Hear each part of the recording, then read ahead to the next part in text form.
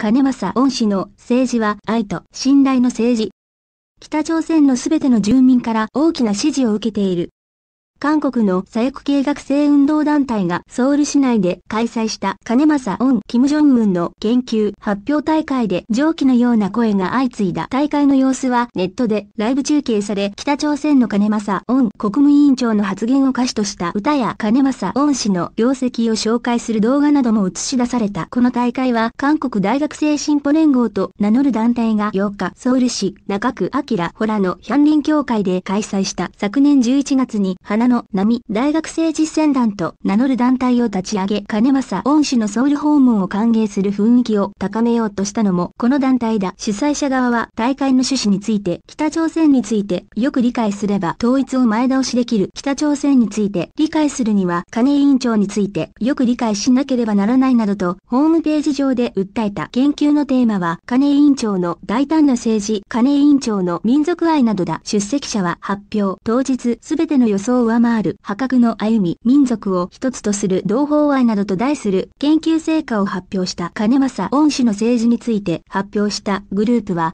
金正恩氏は政権についてから8年で北朝鮮のすべての住民から大きな支持を受けるようになったと評した核ミサイルの開発やミサイル挑発も称賛した金正恩氏は昨年言った新年の演説で米本土全域が核の射程圏内私の机にも核のボタンがあるなどと述べたがこれについて発表者は世界最強の米国を相手にした大胆かつ次元の違った外交力と称賛した。2013年に金正恩氏は北朝朝鮮のエバラ道中部戦線を視察したが、これについては、軍の統帥権者が南側、韓国との距離がわずか350メートルの最前線を訪問した金委員長の繊細さという主題の発表では、金正恩氏は愛と信頼の政治を行っているとの主張が出た。これは世界的に見ても珍しいと主張した。南北首脳会談の際に金委員長が示した。謙遜な態度により我が国民の金委員長への信頼度は77.5%を上回ったなどと伝えた。韓国における世論調査も活用された。発表の合間には金正恩氏の原稿を題材とした。歌の講演も行われた。例えば昨年4月に行われた第1回南北首脳会談の際、金正恩氏が平壌冷麺を遠くパンムンジョムにまで持ってきたと言った直後、遠いと言ってはダメだと語ったことを題材に遠いと言ってはダメだという歌が発表された審査委員長を務めたユンヒョンテク現民権連帯共同議長は時代の正しい要求が込められており、金委員長の風貌もしっかりと伝えていると評した民主社会のための弁護士会民弁統一委員会で活動したチャンギョンウク弁護士などが審査委員として名を連ねていた新北ネットメディア自主事報が8日に報じた大会には主催した団体の会員や審査委員など合計70人以上が参加した大会の様子はネットを通じてライブ中継されたが、その後は発表の様子を撮影した映像の一部だけが残され、全体の動画は削除された高麗大学の南西朝日ナムソンク教授は北朝鮮政権が住民たちに宣伝するコンテンツがそのまま韓国に伝えられたようだ。法律に違反していないか調査を行う必要があるだろうなどと懸念を示した北朝鮮鮮戦略センターの今日、鉄管、カンチョルファン代表は、金正恩氏による北朝鮮住民への抑圧的な統治や独裁については、一言も語っていない。北朝鮮で宣伝される内容とよく似ており、金正恩氏を平凡で善良な指導者として描くことで、一部の韓国国民が誤解する恐れがあるなどと指摘した、主催した韓国大学生進歩連合は、昨年3月、韓国大学生連合、大学生のれ、歌友柄連合などの運動権団体が共同で立ち上げた団体だ。今年1月には、この団体の会員5人がソウル市正味地区の米国大使館に入ろうとして警察に制止された大会が行われたヒャンリン協会は裁判で利的団体との判決を受けた祖国統一広市ワン民族連合南側本部準備委員会が1991年に結成式を行い同時に委員長を選出した会場だ。